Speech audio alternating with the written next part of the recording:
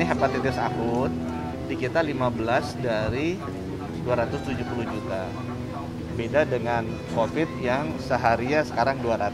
Ya, jadi supaya ini ada ada balancing juga beritanya. Ini jauh di bawah COVID penularannya.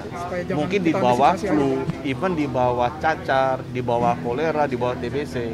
Supaya jangan kemudian terlalu jadi berlebihan juga. Dan sampai sekarang seperti yang tadi saya bilang, belum terbukti bahwa ini penularannya disebabkan oleh virus. Even Inggris sama Amerika lagi mencari. Karena banyak juga yang terkena nggak ada virusnya. Jadi apakah ini karena virus atau ini karena genetik, bisa juga ini karena faktor lingkungan atau keracunan sampai sekarang memang belum ditemukan secara pasti. Medcom.id, a part of Media Group Network.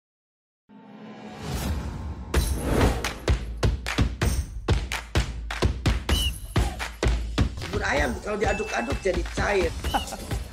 Seriously. diaduk kayaknya ya.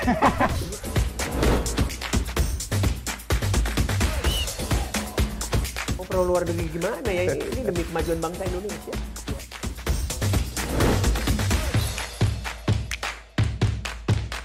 isu kebangkitan uh, PKI ini uh, dihentikan.